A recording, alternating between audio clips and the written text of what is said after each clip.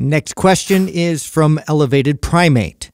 How much daily cardio is enough? Uh, really depends. It depends a lot on what you mean uh, by enough. Yeah, define cardio too. Yeah, like are you looking for athletic performance? In which case, you want to do the right amount of cardio to maximize the type of performance you're looking for. Is it for fat loss? If it's for fat loss, that's nutrition, uh, and cardio is is completely not needed whatsoever. If it's for health, how much cardio is enough? Here's the best thing you could do for health uh, from a cardio standpoint.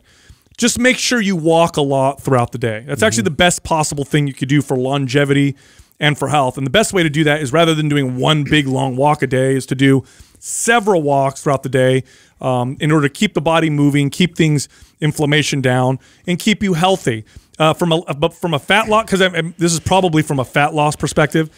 Zero, 0 mm-hmm. is a, you don't need any cardio to burn body fat. It's all a nutrition as uh, a nutrition thing. And if you use cardio for fat loss, then you're you're doing something that's not very effective. Maybe for a couple weeks, but that's Well, it. that's usually the hardest pill to swallow is is to understand that what the conventional view of cardio really is unnecessary.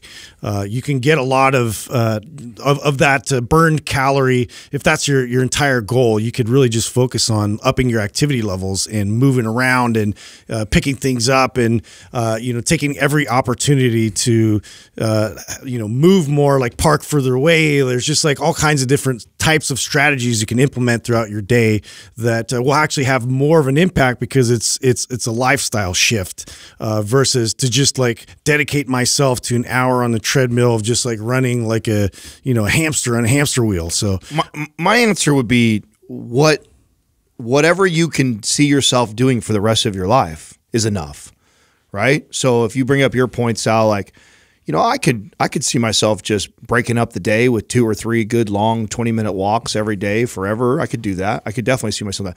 Maybe you love to get on the elliptical. Maybe you love to row and you're like, "Man, I love to row for 30 minutes. Is that okay? Can I do that every day?"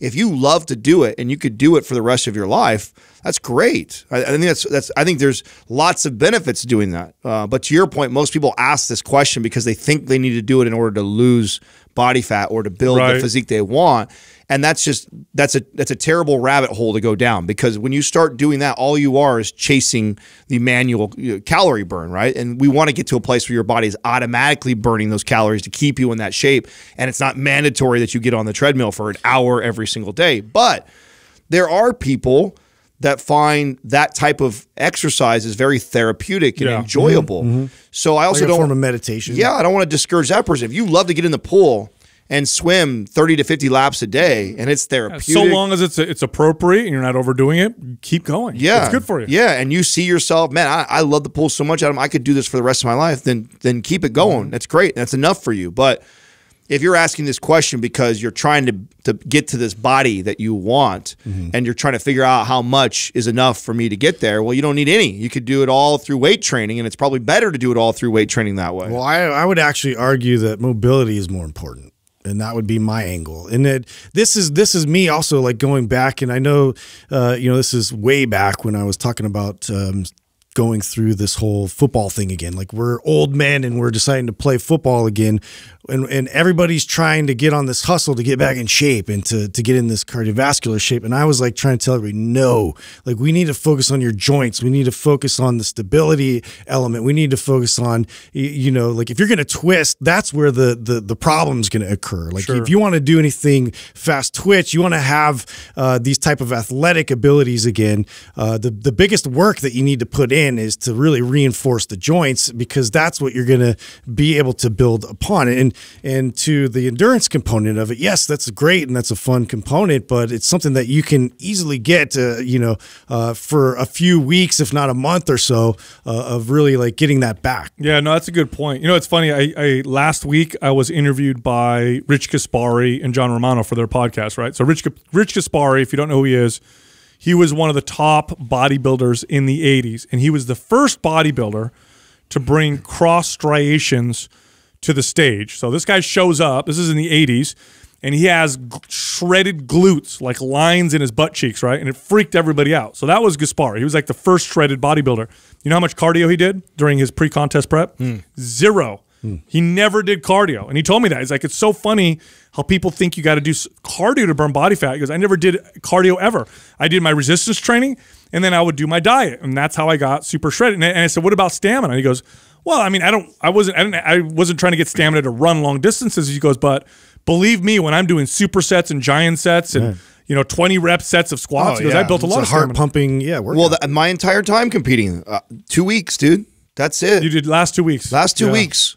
And the beauty of that, and that's what I try to explain to clients when I would coach them that for com- uh, competing, is that if you do a really good job of programming right and dieting correctly and building a metabolism up, it's rad because that last two weeks I can make some serious moves. If I can't, if I if I was off a little bit, like you know, before every show, I go, okay, I've got 12 weeks until the show. I have an idea of kind of where I'm at body fat. I have an idea of kind of how my body looks. Okay, let's go. And I start I start training. And I'm and I'm critiquing every week like how I'm shaping up and how my body's changing. Let's say I get down to like week 3 or so and I'm like, "Oh shit, I'm a little bit heavier, a little more, more body fat than I should be right now. Now all of a sudden I kick up cardio, which I hadn't been doing whatsoever. Oh my I mean my body would respond right away versus what you see in the space is as soon as someone starts their exercise routine, they automatically just part of it is 30 minutes to an hour on the tre- treadmill or the stairmaster. And it's like you do know that once you've done that for about two weeks, the body is already getting really adapted to it. So the, the change that you're looking for from that And then God forbid you stop it. that- right, exactly. It's so minimal. I would rather think of that. That's something that I got in my back pocket that if I really need to ramp up the results in the final two weeks, I got it. And so many times it was like like Gaspari, it would be almost none. You know, I'd almost walking. That was like my cardio would be walking for some steps, and I would manage it that way. And only if I had to ramp it up for thirty minutes to an hour towards the last two weeks. Mm, that's great.